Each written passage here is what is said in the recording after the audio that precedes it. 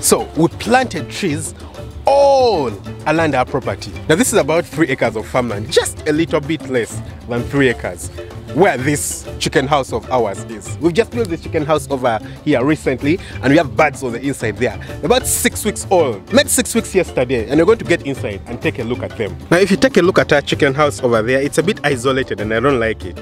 There's no trees around. In fact, if you take a look at the entire property, there's barely any trees. We just have these kinds of short trees. They're almost like shrubs, just like this one over here. That one is a bit taller. Again, they're very scattered like that. In this direction, there's almost nothing and a plantation over there.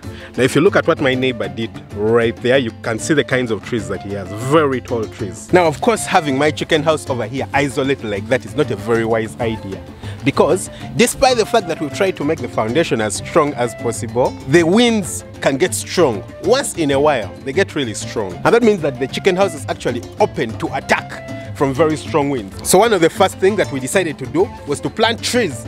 So we decided to plant loads and loads of trees along the entire boundary of the farm. This is a tree called Grevillea. It's a bit of a water resistant tree, yeah? So I tried to plant it along the entire perimeter.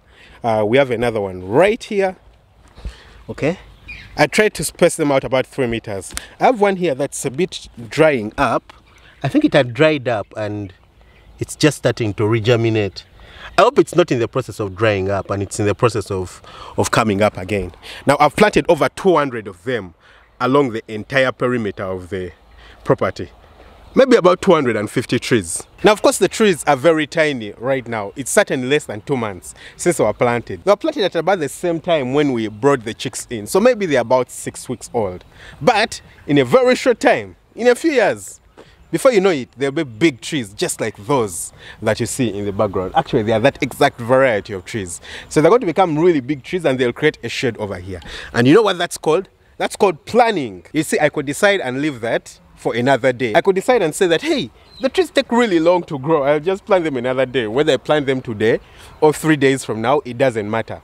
But doing something right now is the most important thing that you can actually do starting now. And that's the main reason that stops people from succeeding. But then there's people who actually do start. And when they start, they end up failing. Why is it that most people fail? I'll give you a statistic that I find very interesting. 95% of small businesses fail within their first five years of business. And of those that remain, 95% will not be present after five years. What that means is that only 2.5% or even less of small businesses that start will be present 10 years from the point of starting. Why the hell does that happen? Interestingly, for farmers, it's mainly because most farmers don't think about their farms as businesses. They think about them as farms. I've visited loads and loads and loads of farmers, and I won't tell you the number of things that I find in their farms that I just can't believe.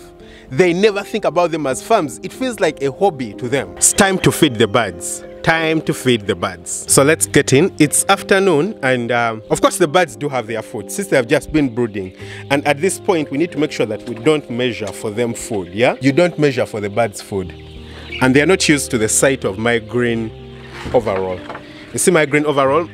The people over there, the guy who is working puts on a blue overall and I'm putting on a green overall. So they're a bit startled. You see them running to the corners. But hey guys, take a look at this. They're six weeks old. Like I said, today they made six weeks old. Today they made six weeks old. And of course, we are feeding them. We are still using these pan feeders, which is actually not a nice idea. I'll show you why. Take a look at that. This is wasted feed. This is wasted feed. And this is what's going to happen around all the pan feeders, you see? If you take a look at this, feed down. Take a look at that, feed down. Take a look at the next one, you'll see feed down yeah? So this is wasted feed and that's not a good idea. Now of course we also have the bigger feeders. These are the feeders that they should be using. But under you notice that there is no feed. I'll pull it away. There's no wasted feed so that's the first most important thing of having such kinds of feeders yeah? Proper feeders not pan feeders over here. So they are scattered all over here and inside here we have the total number of birds that we have. That's about 2500 birds over here. Well more than that but my target is 2500 so that's the number that i keep referencing. Right here you can see our drinker system and the drinkers are still up. We still don't have the pipes connected for water. So we are still using chick drinkers but that's not a very good idea because the water gets dirty. Yeah, because of the height of the drinkers, we've tried to raise them with bricks, but the water gets a bit dirty still. But that's temporary. That is stopping today. So it is week six, and the birds are growing perfectly well. They're on target for the weights, and that's the most important thing. They're consuming their food very well. We haven't had any breakout of an illness on the farm. And you see, on the farm, as the birds get older, the less illnesses you have, the better. So if by week six, we don't have any illnesses, we haven't gotten any illnesses, the birds are healthy, that means they'll have their target weights as expected. And that means by week 18, we expect our very first egg. We might even get it earlier, since the birds are even a bit above their target weight, which is something very rare. It is very, very, very rare that I actually move through farmers and find farmers where the birds are on target weight or even higher than target weight. Most of them will be below target weight, and it's because of small mistakes that people make, you know, farmers make. It starts from things like that. Poor management of the birds because how do you expect to be successful as a farmer to actually start making money? You see most farmers actually get out of business. Most people who do farming do get out of business. Why? Because they don't understand what they are doing. They don't know where to put their attention. They don't plan. They just don't know what to do. And hey that's the purpose of farm up. That's why we are here as a youtube channel. That's why we are here as a company you know to ensure that number one farmers outside there understand what they are doing. That's why I spend loads and loads of days coming to YouTube, teaching you guys about farming, help you understand what you need to do in order to actually become a successful farmer. So it is things like this, you know, making sure that you do what you're supposed to do. Not being complacent. Also making sure that the farmers have the right type of birds because it doesn't matter how much effort you put in, without the correct kind of birds, without the correct species of birds, the birds are actually going to die. They won't grow up. They're going to be sickly. Even if you give them lots of feed they won't give you what you need. So hey these are our own farm up chicks bred by me you know bred by us at, at, at the breeder farm and they're doing really well. I know that, you know, I can see it. Very soon we are going to be debeaking them because they are on target weight. And so you can see that these feeders and the pan feeders are both present. And the main reason is because we have all the birds still on the lower floor. We don't have any birds on the upper floor. That's supposed to be the upper floor.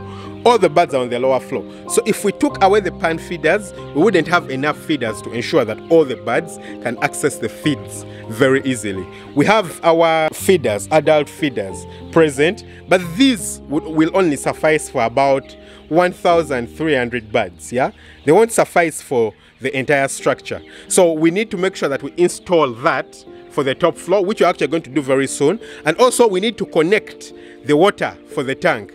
And uh, let's move outside and I'll show you where we're going to be putting our tank. So at two points, one up there, you can see a pipe sticking out, sticking out from the top floor. And the second is this, this. This is the second pipe sticking out. These are the two pipes that are going to be delivering water to the inside of the building. And right here, right down here, where you can see that they planted some maize recently. We're going to be putting our metallic tank stand that's going to be taking water into the chicken houses over there. So of course we wanted to move using gravity to the inside of the chicken houses.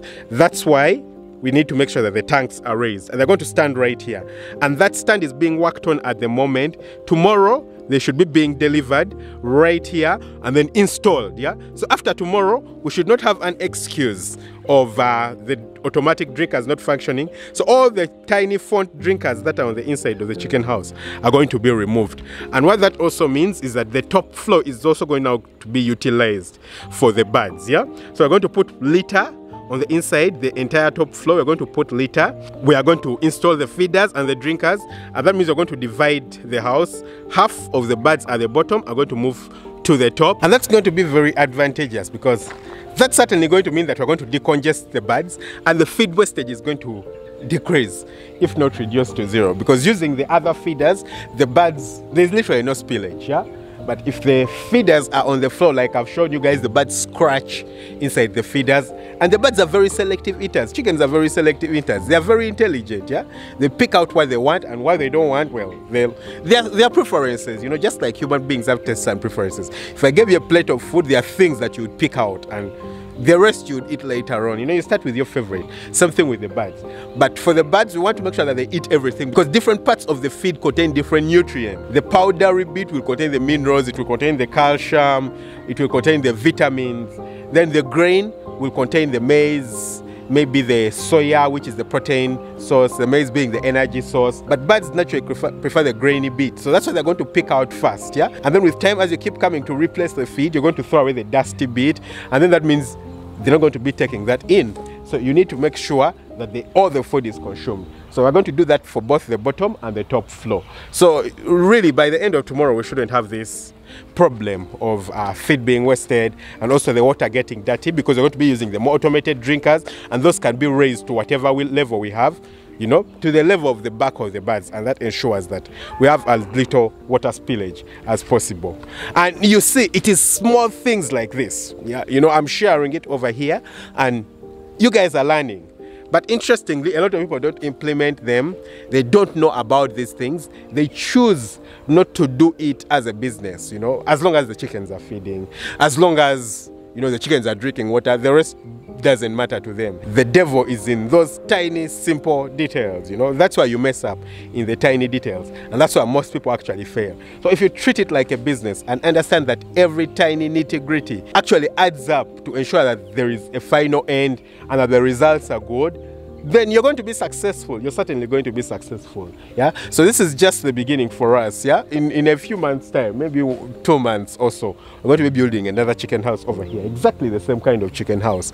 And then soon we'll have two more. So there'll be four chicken houses in total. And this will ensure that we have 10,000 birds over here. Maybe about 7,500 in production at any one time. I think that will be a success. That will be a very successful project. And I'm very, very excited about it. Don't forget to hit the subscribe button, smash the notification bell. That way you never miss out on an upload. Lots of love. Bye.